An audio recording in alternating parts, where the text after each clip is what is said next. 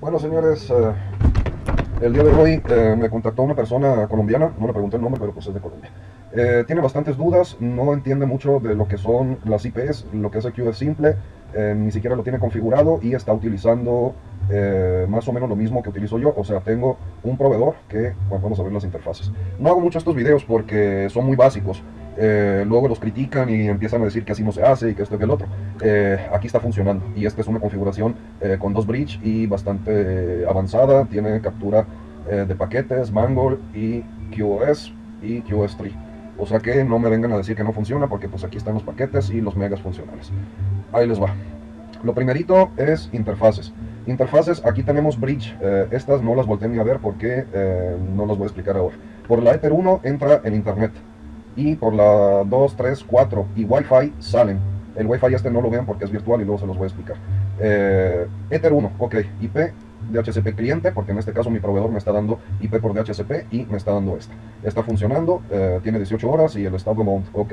Eh, hasta ahí estamos bien. Si nos vamos a eh, address, aquí podemos ver que tenemos una IP dinámica, que es la que nos está asignando, en este caso mi proveedor, eh, que es un amigo, tiene eh, renta internet, o sea, este es el segundo microtic, es el mío, este es mi proveedor y esta es mi red. Yo utilizo este segmento para no estarlo molestando a él en los 192, yo uso 172, así nos evitamos de cualquier problema. Ok, ¿qué hicimos aquí? este nos lo dio el proveedor, este lo hicimos nosotros. ¿Cómo se hace? Simplemente se agrega y se le ponen los parámetros ahí. Ahí están los parámetros. Yo en este caso lo tengo en una bridge LAN porque eh, el puerto 2, el puerto 3, el puerto 4 y el Wi-Fi están donde mismo. O sea que aquí, se los voy a explicar rápidamente para que no me lo puedan entender. Hice un bridge de las LAN y en este caso, eh, bridge LAN, bridge LAN y bridge LAN, ahí están. El Wi-Fi, ah perdón, la 2 no la tengo conectada. Eh, el Wi-Fi, la 3 y la 4 son salidas en el mismo, o sea, agarran el mismo DHCP, que es a lo que voy. No ocupan hacer un DHCP por cada salida, simplemente se, se hace un DHCP, que lo vamos a ver en DHCP bueno, perdí conexión.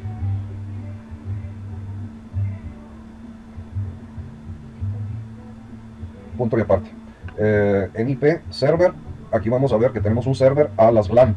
Así, cualquiera que esté en el bridge, cualquiera de estos, va a utilizar el mismo DHCP, que en este caso es un network eh, con este rango de IPs y eh, con el más 24. O sea que el último segmento tenemos 254, eh, bueno 253 porque uno es de MikroTik, eh, IPs libres para los clientes. Hasta ahí creo que estamos bien. Si ya todo esto lo hicieron funcional, desde aquí se puede programar más fácilmente. Eh, siguiente, siguiente, siguiente, finalizar. No me deja porque pues ya está, las tengo yo funcionando. Eh, ya hay video de cómo se hace. Nos vamos a Network, debe de estar así. Nos vamos a Lysis, estos son mis clientes. clientes entre comillas, es mi computadora, mi celular, el celular de, de mi pareja, otra computadora y otra computadora. Este es un iPhone, creo. Eh, ¿Qué vamos a hacer aquí? Mm, yo no manejo lo que es hotspot. El hotspot lo voy a hacer en el otro video. Eh, ya tenemos aquí los clientes. Lo más importante es darle doble clic y ponerle, voy a borrar este para poder hacer el ejemplo. De todos modos está en waiting y voy a borrar mi celular. Lo más que vamos a guardar la IP. Ok, borrar. Nos esperamos poquito, sale en D, que es eh, Dynamic, perdón, pero se me fue la palabra, que es lo que está asignando el mismo MikroTik. En este caso me asignó otra vez la 22, pero lo importante es que el Dynamic eh, puede ser que muchas veces nos cambie la IP. Si cambia la IP, no podemos poner en QoS simple, que es lo que voy a explicar ahorita, eh, cuánto le toca de velocidad. Entonces, lo que hacemos es, cuando tenemos los clientes así en Dynamic, le damos doble clic, le damos Make Static y le damos OK. Otra vez nos vamos sobre el mismo cliente y en general ya cambia eh, el aspecto. Aparte, si son clientes morosos, simplemente se le pone Block Access y le das aceptar o aplicar y ya no tienen internet. Esta es una de las ventajas. Eh, la otra es que aquí en comentarios le ponemos eh, celular del Helio, que soy yo lógicamente, y le damos OK y aplicar OK. En este caso pues ya tenemos eh, el cliente celular con un IP fija, por más que se desconecte y se vuelva a conectar, siempre va a tener la misma IP. ¿Esto en qué nos beneficia? En que ya ahí ya tenemos a todos nuestros clientes con un número fijo que no va a variar. Bueno, mientras no le cambie la configuración. De ahí, lo importante, lo que gusta del, del MikroTik, te vas a QoS, vamos a borrar ¿dónde está el 22? 22, celular del Helio, aquí está eh, lo borramos lo volvemos a hacer eh, el la IP, si lo dejan así, va a ser todo el rango de IPs, o sea que tengan cuidado. Ahí le vamos a poner que es el 22. ¿Qué velocidad le ponemos? Con 5 megas y 5 megas creo que es más que suficiente. Aplicamos, copiamos esto y lo ponemos en los comentarios para saber qué es el dispositivo. Listo. Ya ahí tenemos el celular del Helio. No le cambié el nombre. Este es un error del, del Winbox, pero bueno. A ver. Celular del QS name. Pase.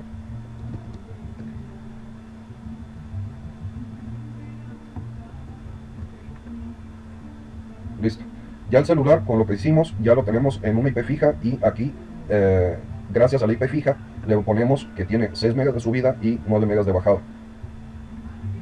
O lo podemos cambiar a 5 y 5 para que vean que sí bloquea. Listo. Traffic y... Ahora lo que voy a hacer es agarrar el celular, irme a YouTube para generar tráfico, silenciar el video porque si no nos van a estar enfadando y ahí como pueden ver está jalando los 4 megas, bueno, hubo un pico de 4 megas y eh, con eso sabemos nosotros, si nos vamos aquí, eh, vamos a limitar un poquito más para que salga rojo, un mega y un mega. Ahí está. Si se fijan ahí ya está saliendo el rojo porque ya estamos consumiendo el total. Ahí se puso en verde porque ya no estaba consumiendo. Eh, estamos amarillo. Es como un semáforo. Eh, cuando llega rojo es cuando ya está consumiendo el total eh, de los megas que, que, le estamos dando al cliente. Y en amarillo cuando está un 65 un 70% dependiendo de cómo lo tengan configurado. espero que sirva el video. Es bastante rápido. Eh, espero que la resolución ahora no le moleste a nadie, porque esa es la otra, no tengo tan buena computadora para estar capturando eh, video y, estar haciendo las explicaciones. Eh, YouTube no me paga suficiente, la verdad, y, todo esto es gratis.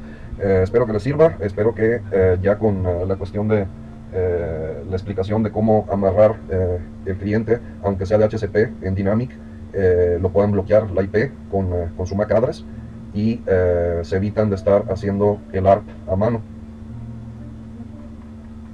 donde están las, todas las configuraciones. Eso lo hace ya directamente el MikroTik con lo que le estamos asignando nosotros aquí. Eh, voy a hacer el otro video eh, del hotspot. Eh, es casi igual, nomás que se van a crear usuarios. Por el momento es todo y espero que les sirva.